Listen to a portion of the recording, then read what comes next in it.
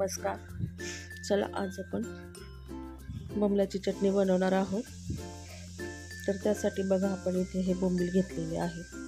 लाल सुक्या मिरच्या घेतलेल्या आहेत आणि लसूण घेतलेलं आहे. तर प्रथम आपण हे बोंबलाचे तुकडे करून घेणार आहोत. तर चला बोंबलाचे तुकडे करून घेऊया. आपल्याला ही चटणी सुकी बनवायची आहे. पण याच्यात पाण्याचा वापर अजिबात करायचा नाही आहे आणि लसूण मी हा न सोलताच घेतलेला आहे. ते टेस्ट छान येते. न सोलताच सालीसहित आपण हा लसूण घेतलेला आहे. तर बघा अशा प्रकारे आपण ह्याचे तुकडे करून घेणार आहोत. बमलाचे. काय होतं? कुणी कुणी बोंबलाच्या चटणीमध्ये खोबरं पण टाकतात. पण खोबरं टाकल्यामुळे आपल्याला जी बोंबलाची चव आहे ती जास्त येत नाही. तर फक्त आपण ही बोंबलाचीच चटणी करायची आहे म्हणून आपण याच्यामध्ये खोबऱ्याचा वापर करणार नाही आहे तर अशा पद्धतीने आपण बोंबलाचे तुकडे करून घेत आहोत. बघा आता इथे मी सर्व बोंबलाचे तुकडे करून घेतलेले आहे तर आपण बघू शकता. अशा पद्धतीने आपण हे तुकडे करून घेतलेले आहे छोटे छोटे. आता आपल्याला हे भाजून घ्यायचे आहे पहिल्यांदा. आता इकडे मी गॅसवरती तवा ठेवलेला आहे. तव्यामध्ये भाजून घेऊया आपण हे बोंबील. गॅसच्या कमी फ्लेमवरच आपण असे खरपूस हे बोंबील भाजून घेणार आहोत. गॅसच्या कमी फ्लेमवर आपण हे बोंबील भाजत आहोत कारण ते खरपूस होतात. जाळायचे नाही जास्त. आणि छान अशी त्याला चव पण येत असते. जाळले की ते एकदम असे कडसर लागतात. त्यामुळे कमी गॅसच्या फ्लेमवरच हे भाजून घ्यायचे आहेत. इथे बघा इथे बोंबल्याचा असा कलर चेंज होत आहे. असा लालसर लालसर व्हायला लागलेला आहे. म्हणजे ते भाजायला छान असे लागलेले आहेत. इथे तुम्ही बघू शकता. बोंबील आपले एकदम छान असे भाजून झालेले आहेत. तर मी इथे आता हे बोंबील एका प्लेटमध्ये मी काढून घेत आहे. तर बघा. बोंबील मी आता एका प्लेटमध्ये काढून घेतलेले आहे आणि एक दोन तीन मिनटासाठी ते थंड करायला ठेवत आहेत.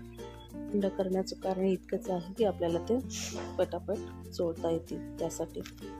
इथे बोंबील हे थंड झालेले आहेत. मी अशा पद्धतीने ते चोळून घेत आहे. म्हणजे त्याचा जो चुरावरचा जो आहे ना असा तो सर्व निघून जातो. काय त्याला जे माती रेती जी काही असेल ती सर्व निघून जाईल.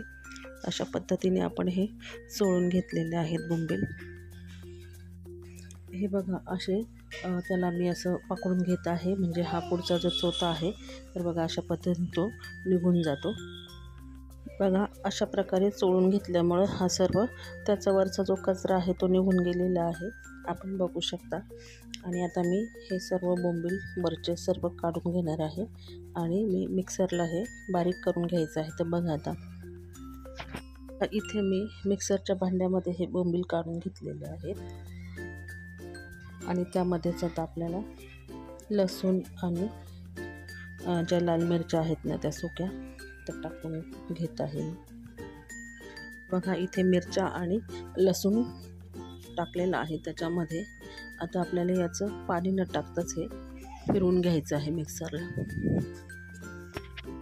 वन टू वन टू करून असं हे फिरवून घ्यायचं आहे आपल्याला. बघा इथे आपण आता मिक्सरला हे वाटण फिरून घेतलेलं आहे बोंबल्याच्या चटणीचं. तर आपण बघू शकता. जाड भरडं असं वाटण करून घेतलेलं आहे. आता इकडे आपण गॅसवरती कढई ठेवलेली आहे. आपल्याला ही चटणी तळून घ्यायची आहे.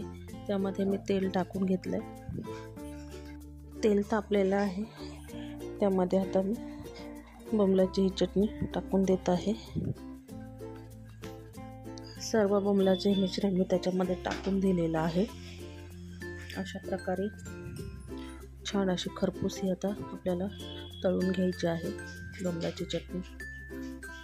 बोंबलाच्या चटणीला तेल हे थोडंसं जास्तच टाकायचं असतं. म्हणजे ती छान लागते अशी. कमी तेल टाकलं तर एकदम कोरडी अशी फडफडीत होऊन जाते ती. बोंबील हे खारे असतात त्यामुळे आता आपल्याला इथे खूप कमी प्रमाणात मीठ टाकायचं आहे. एकदम नॉर्मल टाकायचं आहे. नाही टाकलं तरी चालेल. पण मी एकदम थोडंसं टाकते. याहीपेक्षा मी कमी मीठ टाकणार आहे. मीठ टाकल्यानंतर परत एकदा छान अशी ती परतून घ्यायची आहे. ओके आता इथे मिक्सरमध्ये टाकल्यामुळे ही थोडीशी बारीक झालेली आहे. पण तुम्ही ही खलबत्त्यामध्ये पण अशी ठेचून करू शकता चटणी. तुम्हाला जर खूपच बारीक करायची असेल तर तुम्ही त्याही पद्धतीने करू शकता. जाड ठेवायची तर जाडही ठेवू शकता. तर इथं आता आपली ही चटणी तयार झालेली आहे. तर तुम्ही बघू शकता किती छान अशी आपण अशी फ्राय करून घेतलेली आहे.